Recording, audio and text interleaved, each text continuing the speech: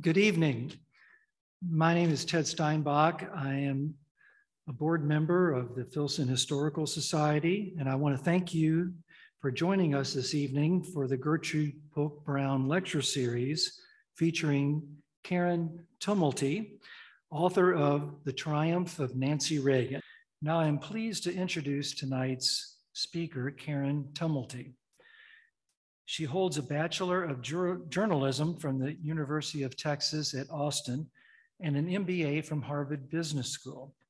She is an opinion editor and columnist for the Washington Post and has received the Toner Prize for Excellence in Political Reporting. She joined the Post in 2010 after 15 years at Time Magazine and her career resulted in more than three dozen cover stories, including positions as congressional correspondent and White House correspondent.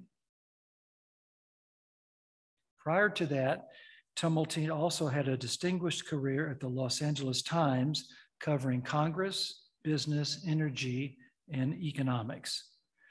Tonight's presentation will be moderated by Richard Clay, the president and CEO of the Filson Historical Society. At the conclusion of the presentation, Mr. Clay will moderate questions as time permits. There are two microphones on the landing for in-person attendees. If you are joining us virtually, please submit your questions in the chat box. The author will be signing and selling her book immediately following the lecture in the main lobby. Thank you again for joining us tonight, and please welcome Karen Tumulty.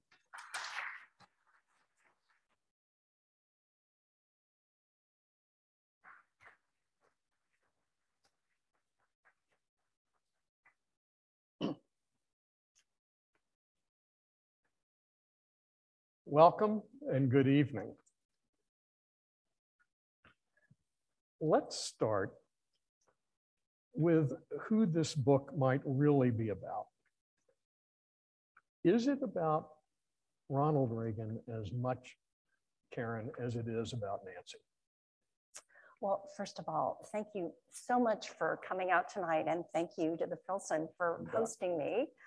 Um, you know, when I started this book, it's the first book I've ever written, I wasn't really sure where I was going. I was you know, I knew the stereotypes about Nancy Reagan, who was a very, very complex person. But the more I learned about her, the more I learned about him. And late, late one night when I'm having yet another bout of insomnia, like what have I gotten myself into?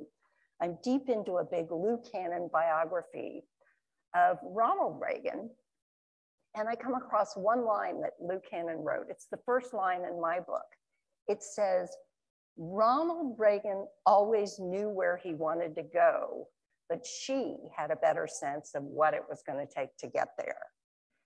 And I, that's the moment I realized that what kind of book I wanted to write. And I also hoped that if I could pull this book off, that people would come away with a much better sense, not only of her, but of him and of really the entire Reagan era. Um, at the beginning of the book, you have an anecdote that the uh, marvelous Secretary of State George Shultz told you about Nancy Reagan. Talk to us about that because I, I thought it was very insightful um, as to how she operated and the importance that she brought to her side of the equation in that marriage. Uh, so I interviewed George Shultz, I think was, he was 97 years old when I interviewed him. Um, it was probably the third interview I did in what would turn out to be a four and a half year project on this book. But he told me a story that I think really did sort of frame her influence. And that was in February of 1983. Shultz would go on to be one of the longest serving secretaries of state in history, but he's brand new in the job. And the truth is, he didn't really know the Reagans all that well. Um, Alexander Haig, the first Secretary of State, had been kind of a disaster and was dispatched. And so Shultz is not really sure what the president's agenda is. He's in a he's in an administration full of hardliners who believe that there could never be anything like a working relationship with the Soviet Union. So it's February 1983. He's coming back from a trip to China. Washington gets socked in by a blizzard. And as one of the worst of the century. And as the city is digging out, George Shultz gets a call from Nancy Reagan. And she says, you know, why don't you and your wife come over for dinner? It'll just be the four of us. So the Shultzes show up and it starts out up in the family quarters in the White House as what appears to be just a social evening. But all of a sudden, Shultz starts getting pounded by questions from both of the Reagans. Um, what are the Chinese really like? What, do these people have a bottom line? Do they have a sense of humor? Do they, and then they move on to questions about the Soviet Union. And all of a sudden it dawns on Shultz. This guy, for all of his hardline rhetoric over the years, is has never met a big time communist leader. And he is dying to engage and he is confident of his skills as a negotiator. And then the second thing that dawns on Shultz is that this wasn't a social evening at all, that Nancy Reagan had set up this dinner because she wanted to get Shultz away from the guys at the Pentagon, away from the NSC, so that he could sit down and listen to Reagan himself, who, as much as people at the time thought of him as a hardliner, he was also an idealist, a deeply religious man who believed the biblical prophecies of Armageddon and didn't want the world to end in nuclear war. And Shultz recognized a third thing that night, he told me. And he said, the third thing he figured out was anybody with any brains would make a friend of the first lady. And it really was, Nancy Reagan was not a geopolitical strategist, but she did know that she didn't want her husband to go down in history as some kind of cowboy from the rest, you know, some kind of warmonger. She actually had hoped that at some point he might even win the Nobel Peace Prize. And um, for instance, when Reagan used the phrase evil empire, he writes in his diary, Nancy hated it.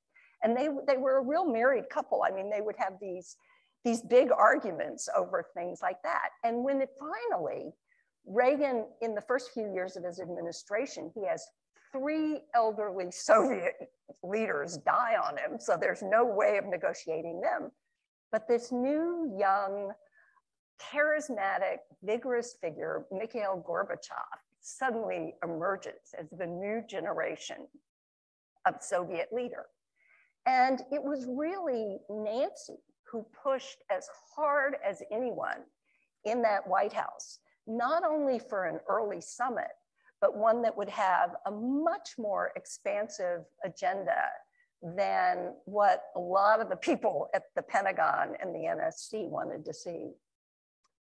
Talk to us, if you would, about both of their childhoods and family situations and how those experiences for both of them uh, combined to make for a very successful marriage. Well, the, the Reagans were not only a great love story, but they were also a couple, it, it was interesting, they really augmented each other's strengths and compensated for each other's vulnerabilities and weaknesses. And he was, she, well, let me start with her. She grew up uh, in a very precarious situation. Her mother was an actress who essentially abandoned her for much of her childhood, it leaves her very wary, very insecure, very anxious for her entire life. You know, she's convinced that no matter how well things are going, that the bottom could drop out at any moment. But she also develops an incredibly keen antenna about people that, among other people, her son Ron really traced to the anxiety of, of her childhood and the abandonment she had felt. Ronald Reagan grows up the son of an alcoholic father who, for other reasons, that family also was in a very precarious situation. I think they moved five times before Reagan was 10 years old, primarily because his father kept losing jobs. So he grows up with a couple of traits that you often see in children of alcoholics. Um, one is that as, as skilled as he was, as, as talented as he was connecting with the country. I mean, can you imagine any politician today who could win 49 states as he did in 1984? He was, in fact, a sort of remote figure. He never, he basically let one person in the entire world get close to him and he married her. But he was also very non confrontational. He, he tended to sort of believe the best in the people who were around him. And it really would often fall to Nancy, who had sometimes she could be pretty clueless about her own image, but about him, she had incredible instincts of who was serving him, who talked a good game, and, and who was a liability. And she would make sure that anybody who was around who wasn't serving him wasn't around for very long. I mean, she is actually one of the reasons that Ronald Reagan went through seven national security advisors. Um, she very rarely set foot in the West Wing, but if she was unhappy about something, everybody knew it. And if she was unhappy with somebody, they didn't tend to last for very long. What were some of the roles that she played in the White House? Some of the issues that she uh, confronted head on? Um, there are a couple of chapters that I'm very proud of in the book. Um, and one is the degree to which she ran the rescue effort during the Iran Contra scandal. Now, not everybody remembers the details of this, but basically, what had happened was that, that we were basically, Ronald Reagan, who had been a lifeguard in his youth, it was a torment to him that Americans were being held hostage by Hezbollah in the Middle East. And so to get some of them freed, he agreed to trade arms to the Iranians. It was a violation of US policy. He also, what happened during that time was that some of the money from those arms sales illegally uh, was diverted to the anti-communist guerrillas in Nicaragua, who were known as the Contras. This was a violation of US law. And it was a very serious scandal. And it, it was being done out of a sort of off the shelf covert operation in the National Security Council. Depending on how this went, Ronald Reagan, had he been shown to be complicit, especially in that second part of it, he could have been impeached. And um, again, it was a very serious scandal, but it was really Nancy Reagan who recognizes the danger at a time when everybody else in the White House is sort of trying to cover their own keister. She is convinced that, you know, heads have to roll, starting with the White House Chief of Staff, Don Regan. Um, she, she and Reagan just went at it uh, because he didn't want to fire Regan. He didn't want to do the, the kind of cleaning of the house. And again, I have in here a lot of the sort of machinations that were going on behind the scenes. But then comes something that is just as hard as the house cleaning, which is getting her husband to admit to the country that he had made a horrific mistake in selling arms to the Iranians. And it is Nancy, when it is finally determined that he is going to give a nationally televised speech, um, who she won't let the West Wing guys write it. At that point, the speech writing shop is, again, everybody is into self protective mode. She brings in her choice of speechwriter. And then she brings in the, and this was a little irregular, uh, but she brings in John Tower, the former senator from Texas, who was running the investigation that is going to produce a scathing report about her husband. And she brings him up to a private meeting in the White House. She brings him in through a, people don't know about this, but there is a, a tunnel that starts in the Treasury building that you can get into the White House where nobody's going to see you coming in any of the main entrances. And she has John Tower sit there and explain to Reagan how deep the trouble really is for him with the speechwriter, a guy named Landon Parvin, who shared all of his notes from this evening with me. And it really is at that moment that Reagan is finally ready to stand up in front of the country on national television and basically say, in my heart, I find this hard to accept. But as I look at the facts, I know that what I did was wrong. And by giving that speech overnight, the polls showed his approval rating went up by nine percentage points because he was restoring the bond of trust with the country. What about her role in diplomacy uh, with respect to the Soviet Union at the time? Again, she really was, uh, she just kept pushing and pushing and pushing um, for there to be these negotiations, for the agenda to be ambitious. Now, mind you, I'm, she was not pushing Reagan anywhere that he didn't want to go. But the fact is, she understood things about her husband that his closest advisors didn't. And again, part of that was that there, there was this idealized idealism to Ronald Reagan as well as the, you know, hardline anti-communist uh, Cold Warrior that you know the country had probably seen, been seeing for decades. So it really was number one, she had, a, I think, a much, um, she was much more attuned to what his place in history would be, I think, even more so than he was. But she, she also understood what could really cement that place in history.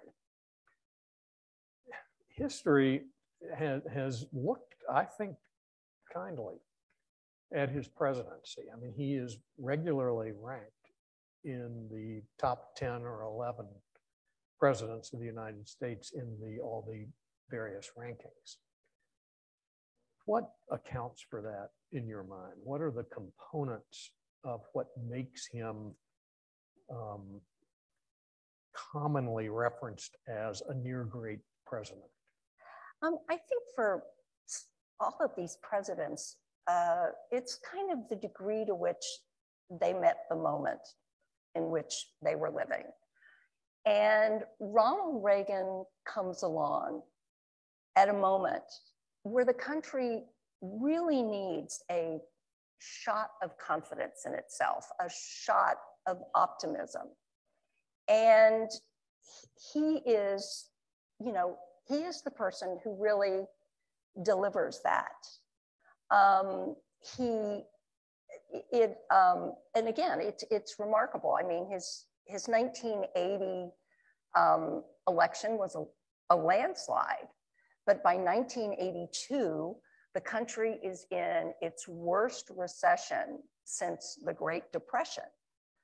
But by 1984, um, you know, it really does feel sort of like morning in America to most of the country. So he he manages to win 49 states and comes pretty darn close in Walter Mondale's home state of Minnesota.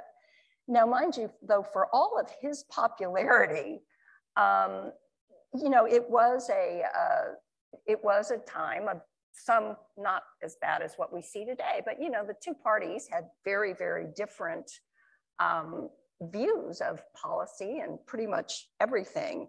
And um, Reagan himself was so popular that in a lot of ways the, the Democrats, you know, I mean, they called him, you know, the Teflon president because criticism would just slide off of him. And I, as I write in the book, if he was the Teflon president, she was the Velcro first lady.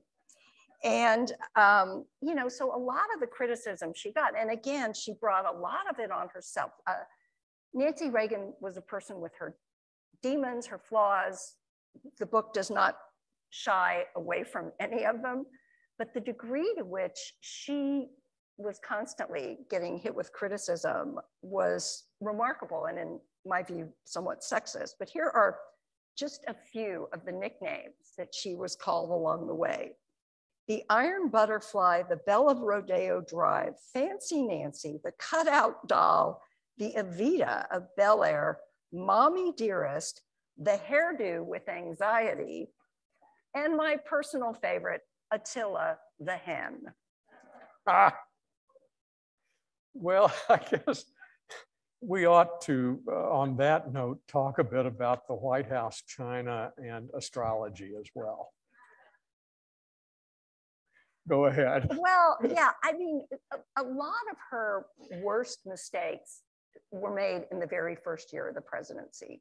Um, she goes out and again, it's the it's the worst moment economically for the country since the Great Depression, probably not a great moment to be redecorating the White House and buying China. By the way, not with public money, with donated money, but that cost over a $1,000 a place setting. I mean, where Jackie Kennedy had, had achieved a claim redecorating the White House, that was not exactly the way it ended up for Nancy Reagan. Um, but she, she figures it out, you know, by 1982, 83, she's embarking on her, her drug cause. By 1984, she's kind of got her, her feet under her. But as I said, during Iran Contra, she maneuvers to have the White House Chief of Staff, Don Regan, fired. And he gets revenge near the end of the Reagan presidency when he writes a memoir. And on the very first page of the book, he reveals something that was a deep, deep, dark secret in the Reagan White House, which is that Nancy Reagan was entrusting a lot of the president's schedule to an astrologer.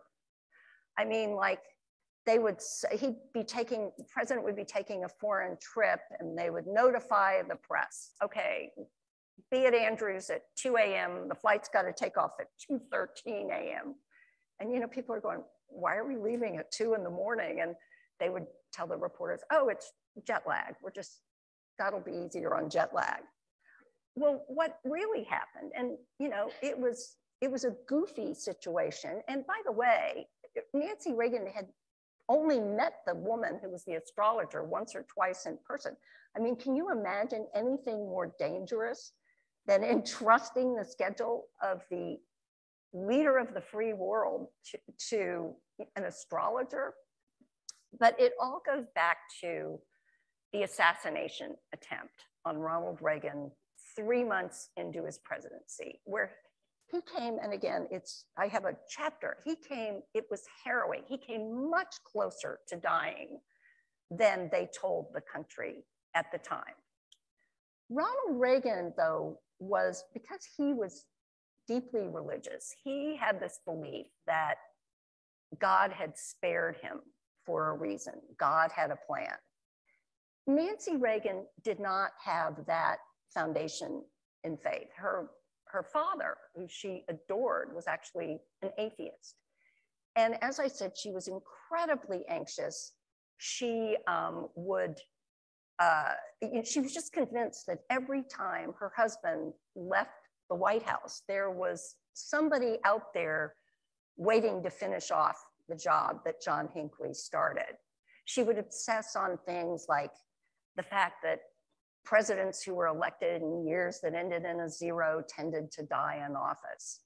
And so she was just grasping for anything that could give her a sense of control. And back when she and Reagan were coming up in Hollywood, astrology was, I mean, show business is kind of a superstitious profession anyway, but astrology was kind of a big thing and you know people would consult astrologers to decide when to get married you know when to sign a contract. So i'm not saying it wasn't goofy it was goofy but um, it was something that you know was was sort of part of her you know her her background. And so she what she would do is she would enlist michael deaver her closest ally in the white house to she'd go to Camp David on the weekends, have her phone conversations with the astrologer. The astrologer would say, oh, this is a good day for this, and this is a bad day for that. And the, the people in the White House couldn't understand why Deaver was just always mucking with the schedule. And This was a White House where everything ran really, you know, like clockwork, except for the scheduling. And Deaver kept it a secret, but he left early in the second term. So what had been a very, very closely guarded secret was known to more people. And Don Regan, as White House chief of staff, would actually keep a calendar on his desk with notations in like a stoplight in red, yellow, and green. Like the president can go out this day, he can't otherwise. And so when he was writing his own book, he certainly had the, the ammo that, uh, that he was looking for against the woman who had cost him his job.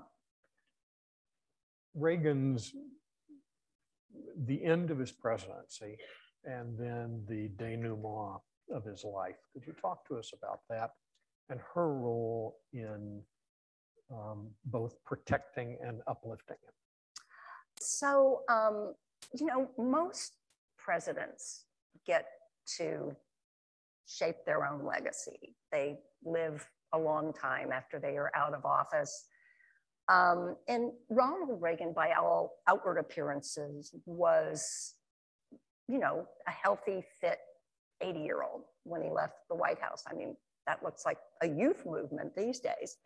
Um, but, you know, by and I look in the book at, you know, what the, I'm not convinced by the, the records that are available, by the things that the White House physicians have said, by what people were, I, I do not think there was anything that resembled serious impairment while he was in the White House.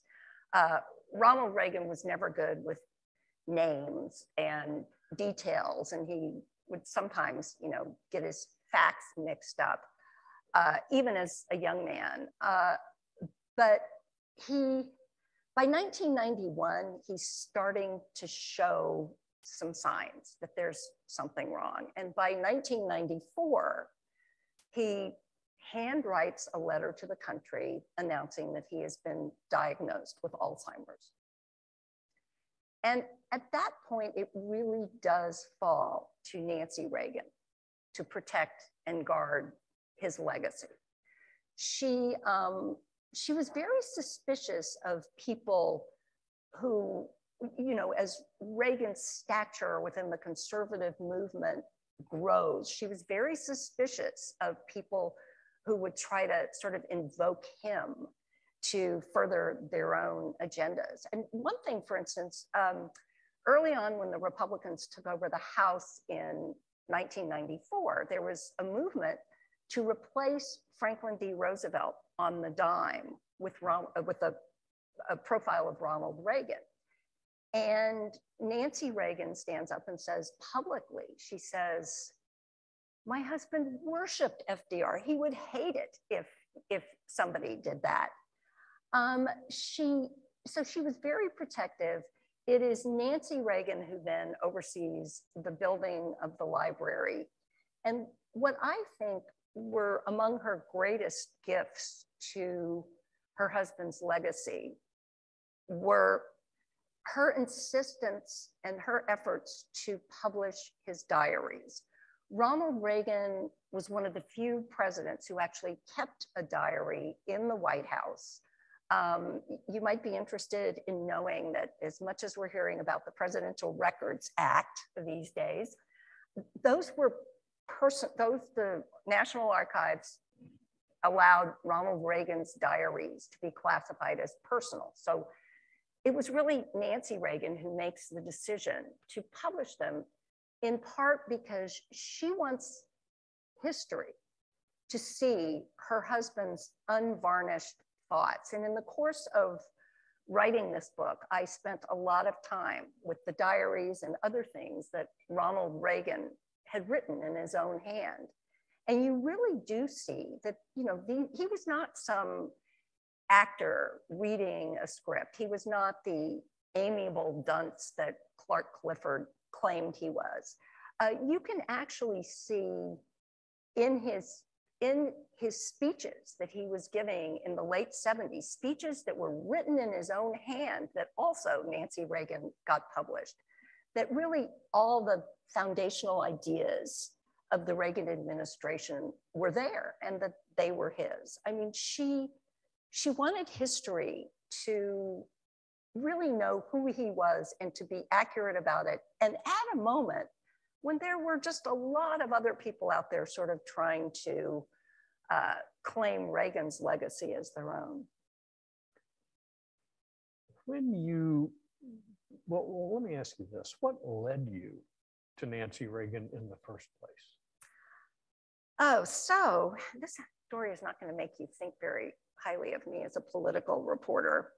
But um, the my former editor at Time Magazine was um, is also the head of nonfiction at Simon and Schuster, and she had had various book ideas for me over the years, and none of them ever really struck me. But in 2016, a few months after Nancy Reagan died, it's early fall, and she comes to me and she says, "We'd like a big biography of Nancy Reagan." And being the shrewd political analyst I am, I thought, you know, Hillary Clinton's going to be such a conventional president. I'm going to need an outside project.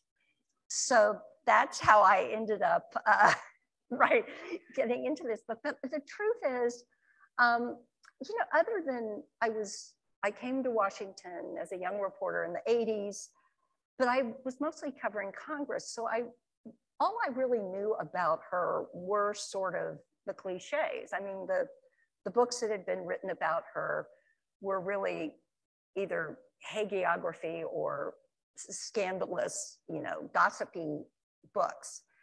Um, and, you know, it was really in the course of what I thought would be a two-year project that turned into a four and a half year project that I began to understand that this was just an incredibly complicated person who's, um, you know, who's had never really been understood, and I think whose influence had never been recognized for what it was. And I was fortunate because, you know, in Reagan world, they're not necessarily going to think they're going to trust a Washington Post reporter.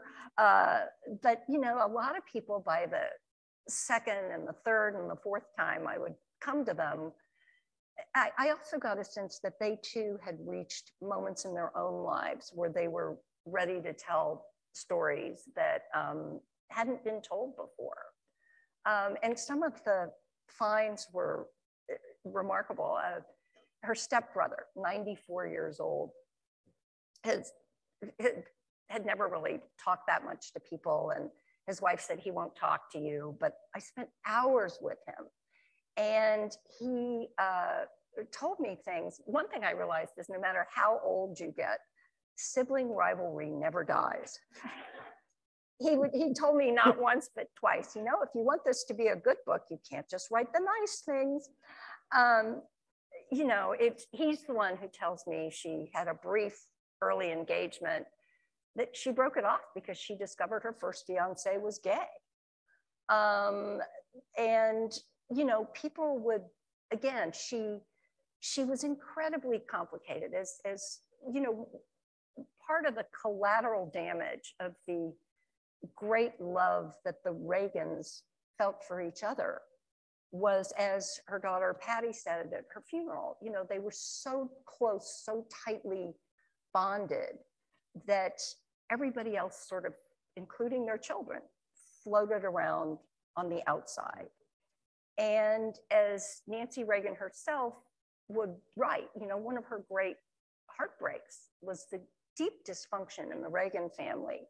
She would write in her own memoir, all I ever really wanted was to be a good wife and a good mother. And I guess I succeeded more at one than the other.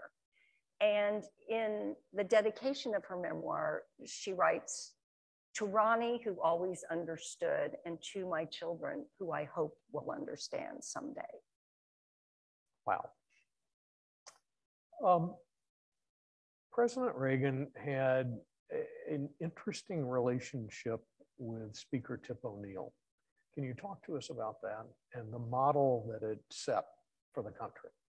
Well, I think that, you know, Washington itself was such a different place back then. I mean, people did sort of, and it, it wasn't like people weren't, wouldn't have gigantic battles, the two parties, but people could understand that at the end of the day, you respect each other and you assume that your adversaries are coming at this from, you know, a, also a public spirited place. So yes, Ronald Reagan and Tip O'Neill, two old Irishmen, could sit there at the end of the day and have a drink and actually like each other personally. Uh, Nancy Reagan was relentless in courting a lot of the sort of Georgetown crowd that would, you know, sort of might otherwise have kind of looked down their noses at her, her husband, this cowboy from the West.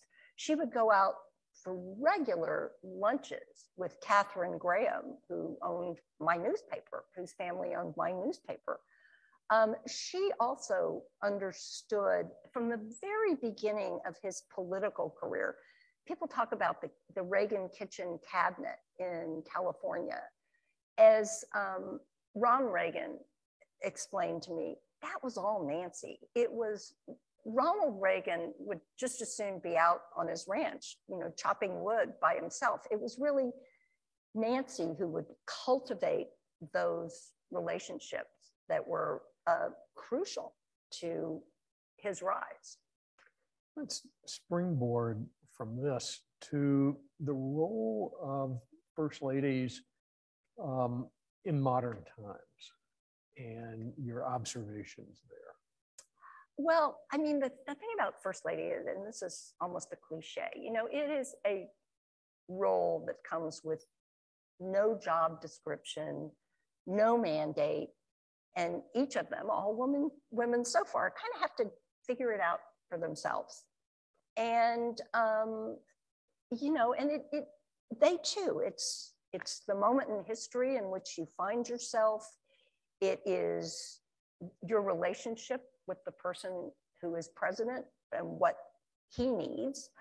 Um, and there's also something else I thought as I, the more I thought about it and the more I looked at other first ladies, and that is when the word powerful is applied to describe a first lady, it is never meant as a compliment. I mean, because on the one hand, the country, you know, loves its first ladies. On the other, people have sort of a, a an idea of what the role is to be and what the role shouldn't be. So this is uh, why, you know, after the Iran-Contra scandal, as people in Washington are beginning to understand how extraordinarily powerful Nancy Reagan really is in this White House, even the, as you know, people have been dismissing her as, as a fashionista socialite from Beverly Hills. Um, all of a sudden, it's people like William Safire, the New York Times uh, uh, columnist, is writing about her as, in his words, an incipient Edith Wilson, who was basically running the country when Woodrow Wilson was incapacitated by, by a stroke. Hmm. And she did have excellent relationships with some journalists like George Will, uh, who, uh, as I, from the book, uh, they ate lunch a lot together. And he was instrumental in helping her, as I understand it, formulate um, the hagiography after the president died. He, um, one thing, yeah, the two of them would get together, and often in George Will's columns, people thought they could hear Nancy Reagan's voice. And this was especially true when he was writing about the Bushes, who neither of them liked. Uh, and in fact, the uh, Nancy Reagan and Barbara Bush's uh, antagonism toward each other uh, is is epic throughout the the time in the White House and beyond.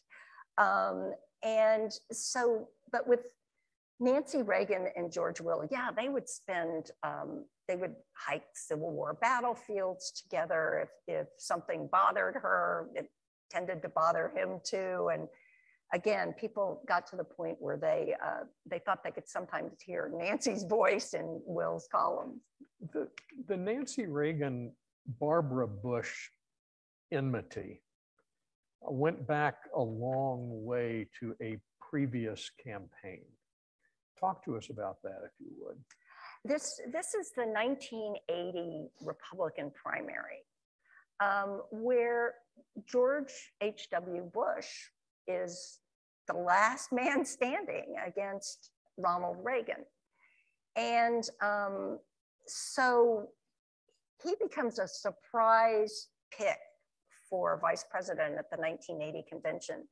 There was a completely boneheaded idea for a while during that convention that they were going to put Jerry Ford on the ticket as vice president to a man against whom the two of them had run in 1976. So when they finally realized that's really not going to work or sit well, um, George H.W. Bush suddenly finds himself the vice presidential pick. But Nancy never was, I mean, uh, people at the time write about all of them standing on the stage there at the convention, and you could just see how unhappy she was to find herself there. But she and Barbara Bush had a, first of all, Barbara Bush could give as well as she could take. And so the two of them were often going after each other privately. And, um, you know, I think it, there were things too about the Bushes that, you know, they were, the, the Reagans were viewed as sort of the, the Newman, the arrivistes from California. Barbara Bush could trace her pedigree, you know, practically back to the Mayflower. Um, the Bushes were a very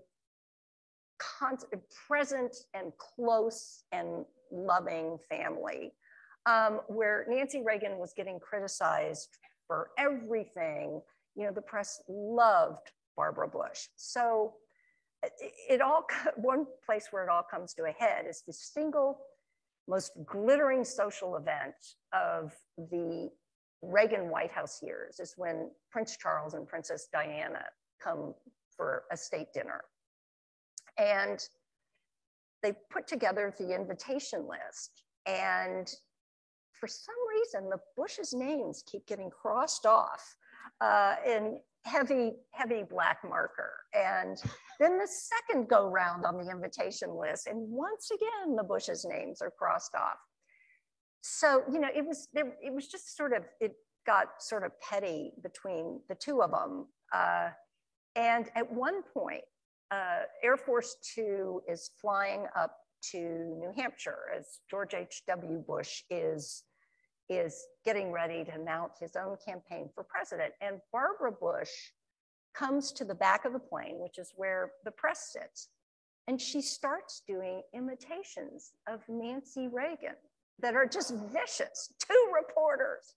And so Lou Cannon of the Washington Post says to her, she says, you know, Mrs. Bush, you know, Mrs. Reagan has spies everywhere. She's going to hear about this. To which Barbara Bush turns to him and says, I know.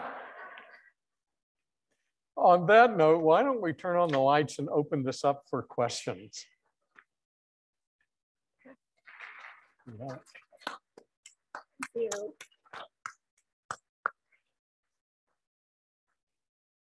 Let's see, the, where are the mics? Julie, can you maybe help people if, yeah, here's a question right here. Great. Okay. Could you talk about Nancy Reagan and the Reagan Ranch? It seems awfully rustic compared to how Nancy liked to uh, portray herself. Oh, the, the, the Reagan Ranch is not, you know, we're not talking about, you know, the big valley out there. It is a, an absolutely tiny, tiny little house.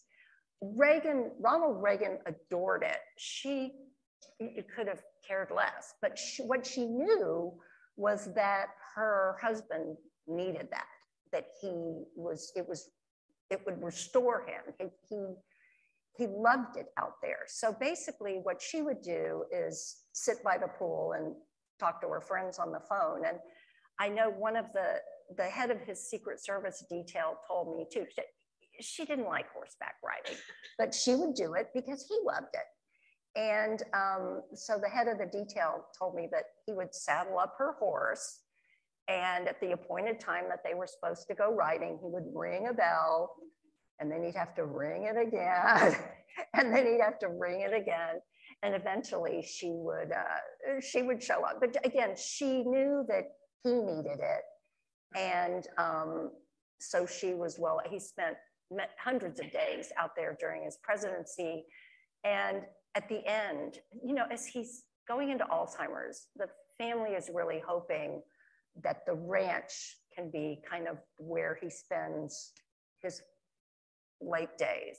And it's really, and I think one of the saddest parts of the book is when he starts to become very uncomfortable with the Alzheimer's setting in in the place that he had loved more than any other place in the world.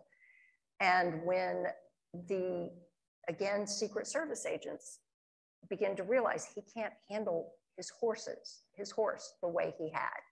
And they're going to have to tell him that he can't ride anymore.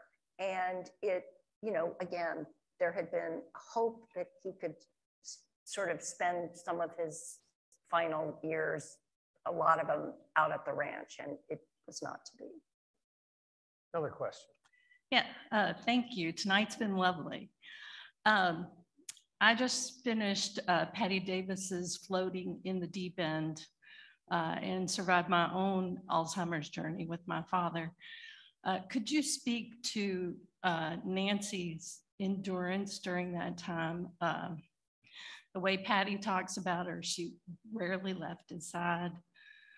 Uh, and I think maybe at some point during that time, she and Patti came to some kind of understanding. So if you could speak to that. It's, it's true. Um, Nancy Reagan's father, her adopted father, um, ultimately her mother remarries and her adopted father is somebody who was a pioneering neurosurgeon in the 1920s so she grew up as the daughter of a doctor. She was really very, she used to go watch her father do surgeries. Um, but as a result, she was very interested in medical issues. She was pretty sophisticated about them. But for a while, early on, she thinks they can fight this. You know, this disease is not going to take my husband. But ultimately, she does come to accept the very long, heartbreaking journey, the longest goodbye, as she said it, that they were on. Um, ultimately, it gets to the point where he doesn't even recognize her. But it does also, Patti at that point, their daughter is estranged, has been estranged from the family for several years. And it really is the Alzheimer's that kind of brings Patti back. And there is, it, it isn't always smooth between the mother and daughter, but it does sort of bring the family back together. Julie, any questions from the chat room? So we have a question from the virtual audience, Dennis Jennings. Did you find anything in Nancy's life before her marriage to Ron that played a unique role in her success? Anything in her college years or her education?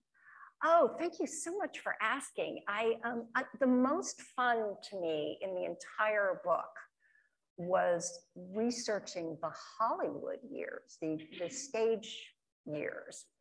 Um, and I do think that both of the Reagans, because they did come out of Hollywood, had a very clear sense of the importance of the image, of the stagecraft. But um, one of the stories I came across, because Nancy's, Nancy's mother had been an actress, not a very successful one, but she was a networker like you wouldn't believe. I mean, a trait she passed along to her daughter. And as Nancy was growing up, one of the family's closest friends was the actor Spencer Tracy, who, while he was one of the most beloved figures in Hollywood, had a secret of his own, which is that he was a violent alcoholic. And when he needed to dry out away from the gossip columnists of Hollywood, Nancy's father would arrange for him to have a private floor in, on Passavant Hospital in Chicago. And then he would go and stay with the Davis family and then ultimately be on his way. So Spencer Tracy was not only a close friend, but he, he owed a very deep debt to Nancy Davis and her parents. So when it comes time, she gets a screen test at MGM biggest Hollywood studio there was. It's Spencer Tracy who engineers this screen test so she cannot flunk it. Uh, usually for a screen test, they would just grab whatever technicians uh, were available. Tracy makes sure that like her screen test is directed by George Cukor, who's known as the women's director and, you know, directed Katharine Hepburn and, you know, so she although Cukor thought, deemed her to have no talent, she nonetheless gets this contract with MGM. My favorite little detail of the, my favorite little trivia of the entire book, and it's only half of the sentence, is that because MGM signs Nancy Davis, if that's one of the reasons they decide to take a pass in 1949 on another actress which is the reason they don't sign Marilyn Monroe, which has got to be one of the worst decisions ever made by any Hollywood studio. Let's see, any other questions? Ah, good. Joya? Um, do you have any knowledge as to how the choice of the portrait artist came to be? And if so, um, I know it's the same gentleman who did the iconic photo of the iconic painting of President Kennedy. And if, and if you do know that, my, my follow-up question is, do you know how much input Mrs. Reagan had into how she chose to pose? Obviously the pose had to be built last, but the pose itself. Um, I don't know. Uh, the, the, portrait artist in question is, is uh, Aaron Schickler, who has who did paint Jackie Kennedy's portrait, um, uh, and also was picked to do Nancy Reagan's. But interestingly enough, she was more obsessed with Ronald Reagan's portrait. And I just didn't make the book, but I'll tell it here anyway. So as Schickler is painting Ronald Reagan's portrait, he keeps getting these phone calls from Nancy saying, Ronnie's not happy with this portrait. Really, the shoulders need to be bigger. The, really, the shoulders need to be bigger. And um, it turns out not to be a very successful portrait, but when they finally unveil it, Schickler says to Ronald Reagan, he says, how are your shoulders? And Reagan says, fine. There's nothing wrong with it, you know. It was, he didn't, it, it was like Nancy Reagan wanted him to look like a linebacker. What's your next book? Oh, gosh. That was I- the next question from Carol Oh, Matan. oh, sorry. Go ahead. All right. You know, I've thought about this. Um, Simon and Schuster's very, the reviews on this one were really, I, I was so, uh, They were outstanding. I'll say it for you. and I, you know, it, it- you get kind of humbled. I mean, you sort of send it out in the world and you think, what are people going to think of this? Um, I, I don't really know. I, I love doing biography. I would want it to be somebody else who is complex, who may have been not really understood by history. I, I'm not that interested in writing a book about somebody who everybody thinks is a saint. Um, so if you have any ideas, uh, let me know. But biography is just so, it's just so gratifying to be able to kind of step back and inhabit somebody else. Nothing else? All right. Everyone, thank you so much for being here. And Karen, you were marvelous. Oh, Thank thank you. you so much.